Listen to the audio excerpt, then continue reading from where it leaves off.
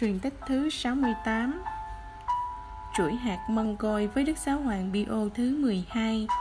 Đức Giáo Hoàng Pio thứ 12 là vị giáo hoàng rất thông minh, khôn ngoan trong thế kỷ thứ 20 này.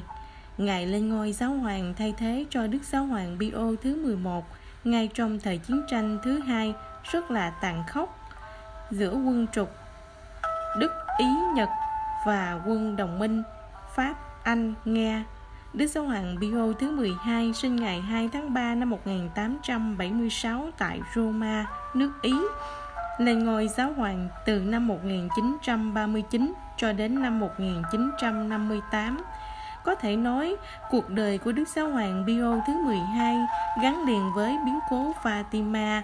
Ngài đã chịu rất nhiều đau khổ khi thấy con cái đang phải chịu bao cảnh tan thương do chiến tranh thứ hai gây ra nhất là khi thấy rất nhiều người do thái đang bị đức quốc xã tàn sát tại rất nhiều nơi. Đức giáo hoàng đã đứng ra can thiệp cho những người do thái vô tội, nhưng chẳng được kết quả bao nhiêu. Không những thế, tòa thánh vatican lúc bấy giờ cũng còn bị đe dọa bởi tay độc tài adolf hitler.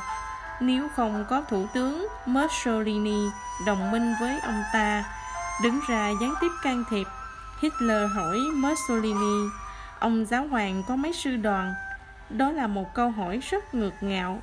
Thế mà sau này khi có án phong chân phước cho Đức Pio thứ 12 thì người Do Thái lại làm đơn tố cáo là Đức Giáo hoàng Pio thứ 12 không hề bệnh vực gì dân Do Thái cả. Ngài được phong chức giám mục đúng vào ngày 13 tháng 5 năm 1917 ngày mà Đức Mẹ đã hiện ra lần đầu với ba thánh trẻ tại Fatima. Theo sự tiết lộ của chị Lucia, thì muốn cho nước Nga trở lại, thì Đức Giáo Hoàng hợp cùng với các đức giám mục hoàn cầu để dâng cả loài người và cách riêng nước Nga cho Đức Mẹ, thì Đức Mẹ sẽ cứu nước Nga. Do đó mà Đức Giáo Hoàng Pio thứ 12 đã dâng cả loài người và cách riêng nước Nga cho trái tim vạn sạch Đức Mẹ vào ngày 8 tháng 12 năm 1942 cùng với một bản kinh do chính Ngài soạn thảo, mà ngày nay người công giáo vẫn hay đọc trong các nhà thờ, dịp lễ kính trái tim Đức Mẹ trong thời Đức Giáo Hoàng Pio thứ 12 có những sự kiện hết sức quan trọng sau đây.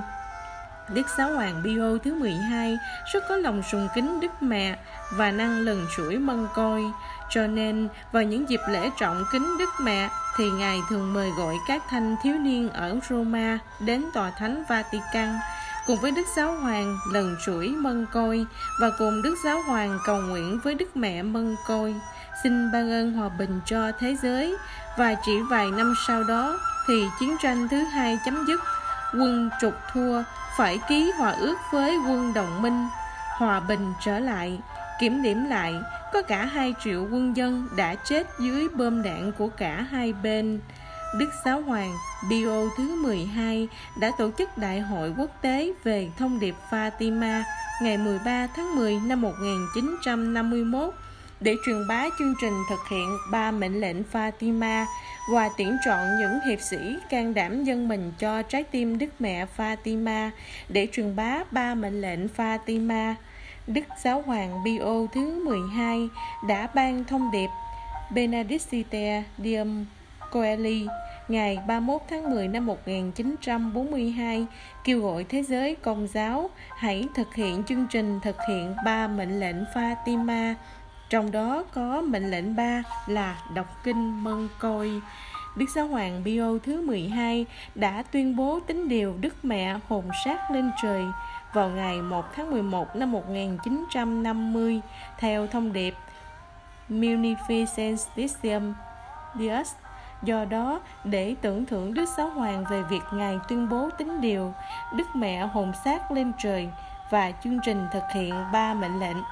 Fatima, Đức Mẹ đã cho Ngài được xem thấy phép lạ mặt trời nhảy múa ngày 13 tháng 10 năm 1917 tại Fatima, Ngài tại vườn hoa Vatican vào các ngày 30, 31 tháng 10 và 1 tây tháng 11 năm 1950. Ngài đã qua đời vào đúng ngày 13 tháng 10 năm 1958 ngày mà Đức Mẹ hiện ra lần cuối cùng tại Fatima. Âu cũng là một sự trùng hợp rất có ý nghĩa. Lời bàn Thời Thế chiến thứ hai, người ta đã nói rất nhiều đến Đức Giáo hoàng Pio thứ 12, ngài rất có tài ngoại giao, đã từng là sứ thần tòa thánh tại Đức Quốc và nhiều nước khác ở châu Âu.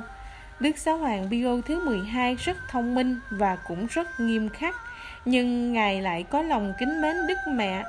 Bất cứ công việc gì khó khăn của giáo hội, ngài đều chạy đến cùng Đức Mẹ và xin mẹ phù trợ thì đều được như ý cả.